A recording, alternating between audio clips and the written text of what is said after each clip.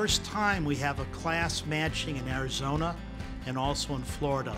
So this is the fulfillment of a national medical school vision over the last, what, 10 years. It's a remarkable accomplishment, and you're part of it. So congratulations. Thank you. It's probably the most important day of medical school, I would say. It's the culmination of all the hard work and everything you, you put in. Medical school here at Mayo has very much prepared me for residency. Um, here we get amazing education in the three shields of Mayo Clinic, um, clinical, research, and how to be an educator. Because it's been four years of work and then some for most people to get here. So to be able to find out that you're going to be a doctor and then you get to go somewhere to do it is really important.